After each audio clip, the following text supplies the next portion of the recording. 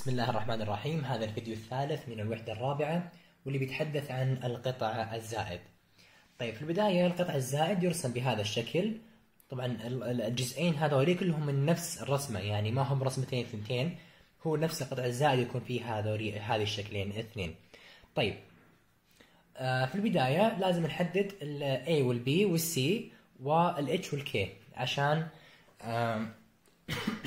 نحل الخصائص آه، طيب. المح- مثل ما ذكرنا نحدد ال A وال B وال C وال H وال K. طيب الآن اللي لو نلاحظ المعادلة الحد هذا سالب واي تربيع زائد 2 كل تربيع على 16 حد سالب. والحد هذا حد حد موجب. ما ما في قبله شيء. تمام؟ حد موجب.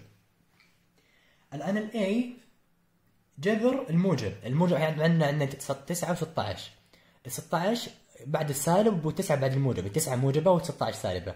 فهنا ال A تمام؟ ال A هنا جذر الموجب. الموجب 9 جذر 3 وال B جذر السالب. ست- 16 يصير 4 فبالتالي ما نشوف الأكبر أو الأصغر لا. نشوف الموجب أو السالب. فهنا الآن آه، ال- ال- الأربعة ال- ال- الأربعة هي مربع مربعها يكون 16 اللي هو السالبة. طيب ال C ننتقل هنا إلى الخاصية 8 عشان نجيب الثامنة عشان نجيب C ال C تساوي جذر A تربيع زائد B تربيع في القطع الزائد العلامة زائد والقطع الناقص اللي تو تكون العلامة هذه ناقص. فبالتالي راح يكون جذر 9 زائد 16 يعني جذر 25 يعني 5 هذه هذه قيمة سي فإذا سي بخمسة.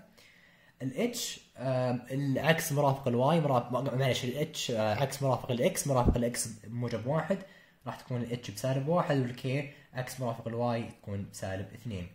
طيب الآن آم، عشان نعرف نحدد اتجاه القطع لازم نعرف المحور القاطع هل هو أفقي ولا رأسي. ما هو المحور القاطع؟ الآن مثل ما ذكرنا أنه هذه فينا في شكلين.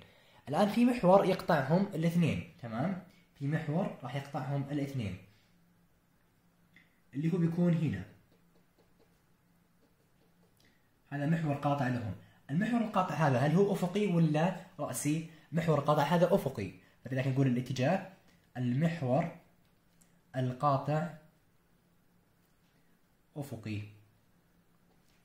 طيب المركز. المركز اتش وكي وطلعنا الاتش والكي الاتش بسالب واحد والكي بسالب اثنين الرأسان طيب الآن. في رأسان هنا ال- قطع الرأس زائد في رأسان مو واحد بس في واحد هنا في واحد هنا الآن. المركز هو هنا المركز سالب واحد وسالب اثنين هنا فعشان نروح للر... لل- للرؤوس الاثنين هذا هذا المركز نروح يمين نروح يسار فنزيد عدد وننقص عدد من الاكس نروح يمين ويسار الآن في الرأسان نزيد العدد آه، A تمام؟ نزيد عدد A يمين ويسار. فلذلك نقول الرأسان ال H اللي هي تمثل ال X نزيد عليها وننقص منها A وال K فال K ثابتة. طبعا يكون في رأسان فيكون في اثنين مح- زوجين. ال K ثابتة ال K هنا بسالب اثنين بتكون بسالب اثنين ثابتة. الاتش زائد وناقص A. الاتش بسالب واحد. مرة زيد عليها ثلاثة ومرة ننقص ثلاثة فتصير سالب واحد زائد ثلاثة بتساوي هنا اثنين وسالب واحد ناقص ثلاثة هنا سالب أربعة. تمام؟ فلو نروح الحين لسالب أربعة وسالب اثنين نلقاها هنا هي آه، نلقى الرأس لو نروح الآن إلى بعد اثنين وسالب اثنين هي الرأس الثاني. طيب البؤرتان البؤرتان مثل ما ذكرنا أيضا تكون في الداخل يعني هنا وهنا وهنا هذا المركز. فنروح يمين ونروح يسار مقدار C فنزيد ال C على ال X لأنه نروح يمين ويسار. فالبؤرتان أيضا H زائد وناقص C وطبعا مع ال K فهذا يعطي أيضا لانها بؤرتان فيكون في زوجان. ذكرنا إنه ال K ثابتة فال K اللي هي سالب اثنين سالب اثنين. فالثابت هنا هو ال K تمام؟ الثابت هو الكي والمتحرك هو الاتش طيب الآن الاتش مرة زيد سي ومرة ننقص سي. الاتش بسالب واحد مرة زيد خمسة ومرة ننقص خمسة. فمرة تكون آه، موجب مرة تكون سالب أربعة زائد خمسة اللي هي موجب أربعة ومره سالب واحد ناقص خمسة اللي هي سالب ستة. تمام؟ طيب المحور القاطع نفس الشيء محور القاطع راح نذكر آه، طوله ومعادلته. تمام؟ المحور القاطع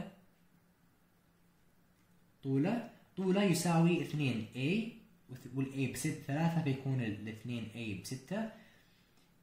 أما عن معادلته معادلته طيب المحور القاطع هو y يساوي k.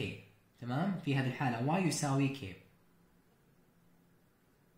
اللي هي y تساوي k اللي هي بسالب 2 لو الحين شفنا نزلنا سالب 2 نلقى الواي يساوي سالب 2 فالمحور القاطع هو الثابت يساوي هو الثابت فواي تساوي كي المحور المرافق نفس الشيء بيكون فيه طول طوله يساوي المحور المرافق يكون من محور عمودي على محور القاطع. يعني محور القاطع هذا اللي بالأزرق يكون في محور أيضا مرافق بهذا الشكل. فطوله بيكون أيضا 2 بي وهو ما يعادل 2 ضرب 4 اللي هي 8 ومعادلته معادلته المتغير فبتكون h يساوي آه، أو x يساوي h. X تساوي h اللي هي x تساوي ال h ذكرناها هنا بسالب واحد فتكون h تساوي سالب واحد اللي هنا فنلزم الخط. طيب خطا التقارب. طيب. آه خطا التقارب. أول شيء y ناقص k تساوي موجب سالب. الآن جذر الواي ثم جذر الاكس الواي 16 والاكس ب 9 صح؟ اللي تحتهم. دائما جذر ال Y يعني 4 على جذر ال X اللي هي 3 تمام؟ مضروبة في x ناقص h. فبالتالي هذا طبعا يعطينا خطين تقارب. لأن عندنا إشارتين موجب وسالب فممكن مرة تكون موجب مرة تكون سالب. فالخط في في خلينا نذكره هنا. طيب الخط الأول y ناقص k ال K بسالب 2 فراح تكون y ناقص 2 تساوي فوق نخليها موجب. فمن ما راح نكتب شيء بما انه موجب؟ آه، أربعة على ثلاثة. إكس ناقص إتش يعني إكس ناقص واحد. طيب آه، الخط الثاني نفس الشيء بيكون Y ناقص اثنين يساوي بس هالمرة سالب أربعة على ثلاثة X ناقص واحد. طيب البعد البؤري البعد البؤري أيضا بيكون آه، اثنين C وال C بخمسة فراح تساوي عشرة. الاختلاف المركزي أيضا ذكرنا أنه الإي تساوي السي على الاي آه، السي في هذه الحالة آه، خمسة وال A آه، ثلاثة. فخمسة على ثلاثة تساوي واحد فاصلة ستة سبعة تقريبا. طيب بس السؤال هذا أيضا فيه خطأ فراح نعدله ونحله بشكل صحيح. السؤال المفروض يكون 16 إكس تربيع زائد 32 إكس ناقص 9 واي تربيع ناقص 36 واي. 36 واي يساوي 164 طيب الآن عشان نحل هذا السؤال هذا السؤال فيه خطأ فنحل هذا السؤال. طيب 16 إكس تربيع زائد 32 إكس ناقص 9 واي تربيع ناقص 36 واي يساوي 164 الآن نجمع الإكسات مع بعض في طرف لوحدهم فراح تكون 16 راح تكون 16 آه، إكس تربيع زائد 32 إكس ناقص. لما نحط ناقص راح نعكس الاشارات اللي بعدها فراح تكون 9 y تربيع زائد 36 y كل ذلك يساوي 164 الآن نطلع 16 هنا عامل مشترك كعامل مشترك راح تكون 16 برا عامل مشترك وفي الداخل يبقى x تربيع زائد 2 راح نترك مسافة عشان نكمل المربع بعدين راح تكون بعدين ناقص. تسعة راح تكون برا عامل مشترك وال y تربيع تبقى من الحد الأول زائد 4 y ونترك مسافة. كل ذلك يساوي 164 الآن إكمال المربع طبعا هذه 12 معلش هذه 12 x نصف هذا واحد مربعها مربع الواحد يصير واحد. نصف هذا موجب اثنين مربع الاثنين موجب أربعة فزدنا أربعة.